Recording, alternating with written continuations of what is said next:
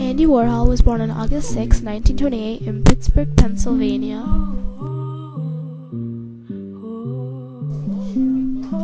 Growing up, he had a lot of problems, such as having Sydenham's chorea, which caused pink blotches on his skin. He was also hypochondriac, often being bedridden. During all this, he would do things such as draw and listen to the radio. He considered this moment period in his life important as he believed it developed his personality.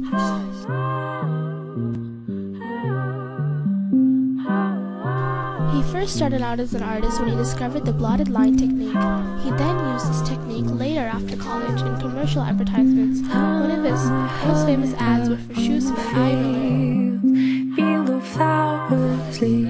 As successful as he was, he couldn't help but feel he wasn't taken seriously as an artist. He decided he wanted to change his style. That's when he turned to a new type of art called pop art.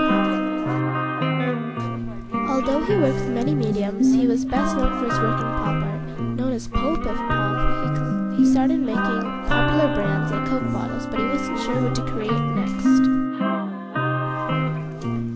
When people think of Andy Warhol's work, the first thing that comes to mind is his pop art. Haven't gotten In the doldrums, dreaming of. Me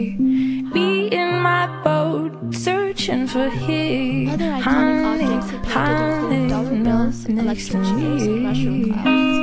He also painted celebrities like Marilyn Monroe, Elvis Presley, Marlon Brando, Troy Donahue, Muhammad Ali, and Elizabeth Taylor. Not only was he an artist, he was also a photographer there. One of his films, called Sleep, is a six-hour film of someone sleeping. Another film called Eat is consists of a man eating a mushroom for 45 minutes. Now you might be asking, what does Andy Warhol have to do with changing the way people see things? Till this day, people still remember his name. His unique style inspired the pop movement. His refreshing ideas were considered modern and interesting. Push the boundaries of Would art. He that come inspire people